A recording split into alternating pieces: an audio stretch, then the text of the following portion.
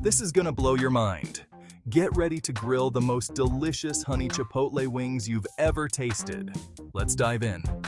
Start by lathering your chicken wings in oil and mixing your chipotle garlic seasoning with cornstarch.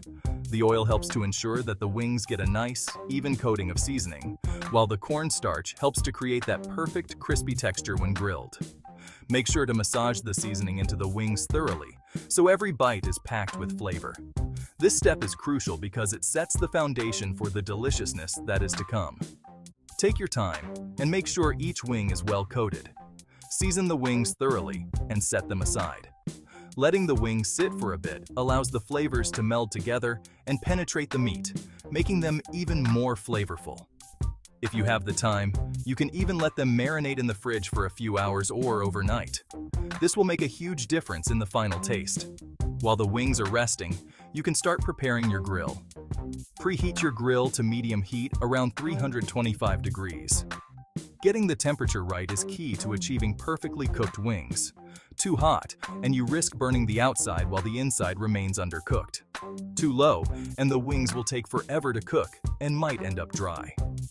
A medium heat of around 325 degrees is just right for getting that beautiful golden brown color and ensuring the wings are cooked through. Use a thermometer to check the temperature and adjust the heat as needed. Add your wings to the grill and cook for 8 to 10 minutes per side until they hit 175 degrees internal. This is where the magic happens. As the wings cook, the fat renders out and the skin gets crispy and delicious. Make sure to keep an eye on them and turn them occasionally to ensure even cooking. You want to achieve a nice char without burning them. The internal temperature of 175 degrees is crucial for ensuring the wings are fully cooked and safe to eat. Use a meat thermometer to check the temperature and avoid any guesswork. Rotate them to avoid any burning. This step is important because it ensures that the wings cook evenly and don't get too charred on one side. Use a pair of tongs to gently turn the wings and move them around the grill as needed. If you notice any hot spots on your grill, you can adjust the placement of the wings to avoid burning. The goal is to get a nice, even cook with a beautiful golden brown color all over. Once they're done, pull them off and keep them warm.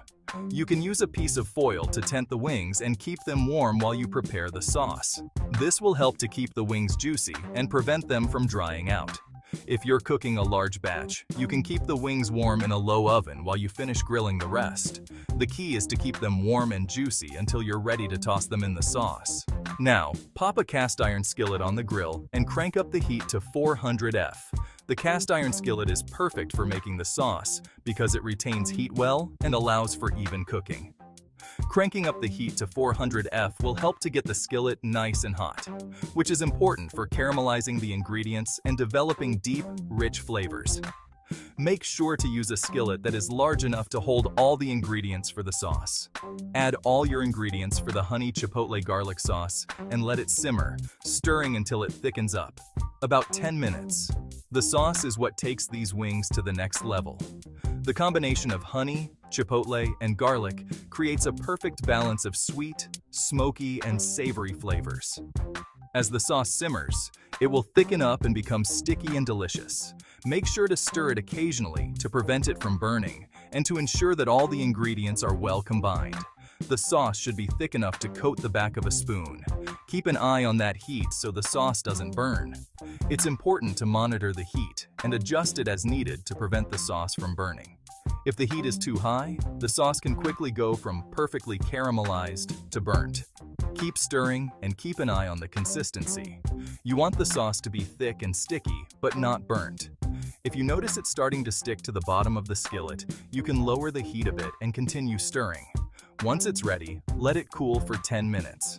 Letting the sauce cool for a bit will help it to thicken up even more and make it easier to coat the wings. You can transfer the sauce to a bowl or leave it in the skillet to cool.